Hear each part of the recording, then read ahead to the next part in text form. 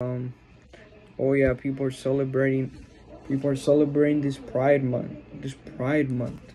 This Pride Month is about oh, oh, love is love. Love is love. Love is all that. But I'm here to tell you. I'm here to tell you this. There's nothing that God cannot set someone free of. He cannot set someone free. Someone cannot set someone free about pornography, masturbation homosexuality. God can set you free from those sins if you're willing to accept the Lord Jesus Christ in your life and to change. Because repentance is not only a change, it's not only a change of, it's not only saying I repent to words. It's about true repentance. It's about coming from your heart, from your soul. It's about true, truly trying to change, to truly try to live, leave those sins and try to change, be a better person. Because if I said I love God and I keep sinning, then I mean that means I'm not truly trying to change. If I'm staying in bondage to the thing, if I'm not letting it go, because the Bible says the wages of sin is death.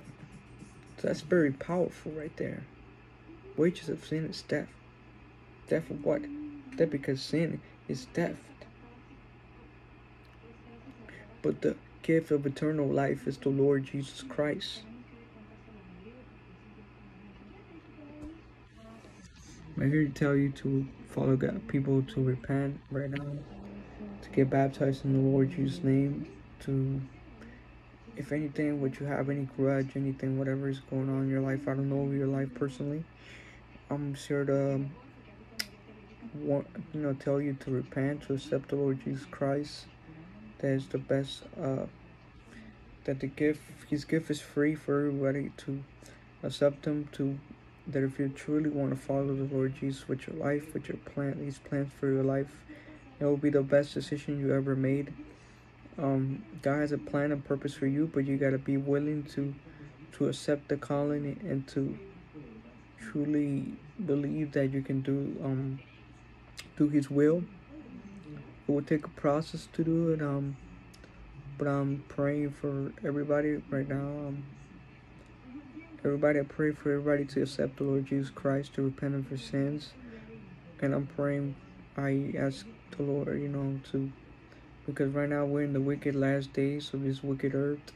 And I'm pleading with you guys to accept the Lord Jesus Christ, to turn away from willful sin. I know I was once uh, bondage to pornography, masturbation. I was even bondage to many things in my past life. Many have skeletons in my closet. It's not like I never done anything. I've done a lot of things. And as you know that when I I pray that everybody repents of their sins that he done in their life and that you get born again because tomorrow's not promised to nobody. And I pray that did you change your lifestyle? I pray that the Lord Jesus favors your life. I pray that you follow Jesus with your whole heart and your plans for their life, for your life? Do you follow His will for a purpose? You know you're chosen by God, and it's the time to pick up your cross and follow Him.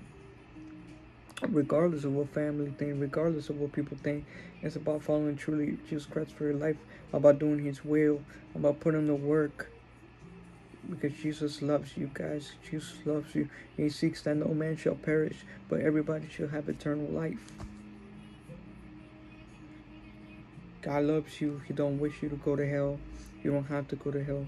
His gift of eternal life is his salvation. Salvation. He's coming very soon. You see the signs, rumors of wars. There be earthquakes in diverse places. In Matthew 24, Jesus coming soon. I just pray that I pray right now, Father God, that you bless every person that watches this video right now. I pray the Holy Spirit over them, every follower, God. I pray over every person is going through a stressful situation, I pray that you bring them from that situation, that you bring them, that you bring assurance that you are the Lord, thy God, thy Father, Father God. I pray that you re remove the enemy's claws, whatever he has his pawns on upon their lives. Any financial problem, we break that curse in the mighty name of Jesus Christ, and we believe in the faith and assurance that you, Father God, you are the provider, you are the Yahweh, you is the Messiah, you is the way, the truth, and the life. Yes, Father God, we pray, Father God. I pray for every person right now, any person in bondage to their sins. I pray that you Father God, you change them, you convict them of their sin, that they change their ways. I pray, Father God, that you change their lives, that there's nothing that you cannot do, Father God. I pray that you would change anybody that's homosexual today, that they be broken, those chains be broken today, of masturbation, of pornography, of lust. I command that all that stuff to go out in the mighty name of Jesus Christ. And I ask you, Father God, to bless every person that watches. I, per- I stretch my hand, Father God, and ask you that as you speaking through me right now, Father God, I pray that you are the one taking control of this life, of this video. I pray over every person, Holy Spirit. I pray peace, love, and sound of mind upon the lives, prosperity, Father God. I pray for prosperity, for saint mind, wisdom, knowledge, revelation from you, Father God. We pray for love, love, Father God. We pray for your peace from heaven above in stressful situations. We pray your fire over them, Holy Spirit. We pray that you will move in their lives in Jesus' mighty name, that you will change their hearts. I pray that these the seeds that are being planted right now, that you will water them in the mighty name of Jesus Christ of Nazareth. In Jesus' mighty name I pray. Amen. And I pray this video has blessed you. And I pray that that you truly get born again. Get baptized in the Lord Jesus' name. And I truly pray that there's nothing that God cannot do, man. I was I was born I was in bondage to pornography for masturbation for years. Now I'm I don't even do that stuff anymore because I fear the Lord. I don't really want to do it anymore. I guess it's disgusting. And I pray that you get set free today because there's power in the name of Jesus. Amen.